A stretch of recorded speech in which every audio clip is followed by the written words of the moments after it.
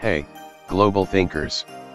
Welcome back to another mind-bending episode of Global Edits, where we unravel the mysteries of paradoxes from around the world. I'm your host Global Edits, and today, we're diving deep into the fascinating world of paradoxes with episode 5, the Barber Paradox. Now, let's talk about the Barber Paradox. Imagine a small town with a barber who shaves all the men who do not shave themselves and only those men.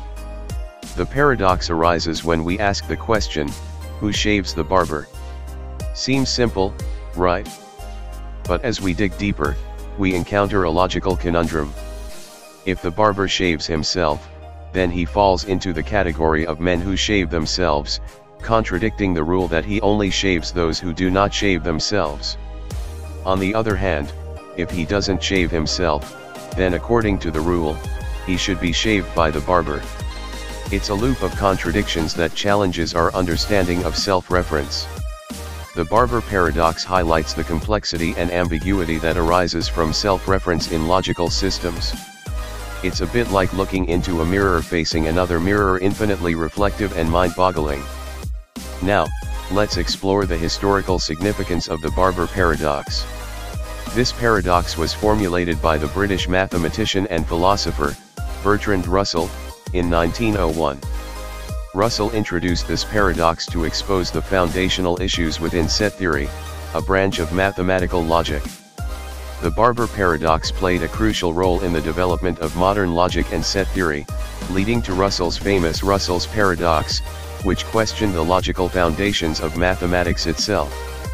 So, is there a way out of this paradox? Several alternative resolutions have been proposed by logicians over the years.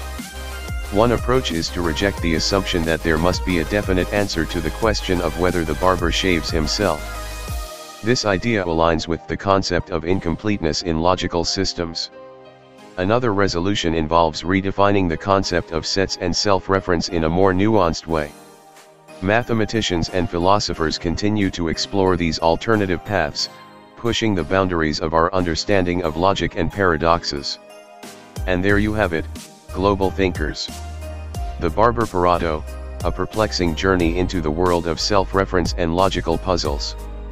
If you enjoyed this episode, don't forget to like, share, and subscribe for more mind-bending content. Until next time, keep questioning, keep exploring, and keep editing the global perspective. This is Global Edits signing off.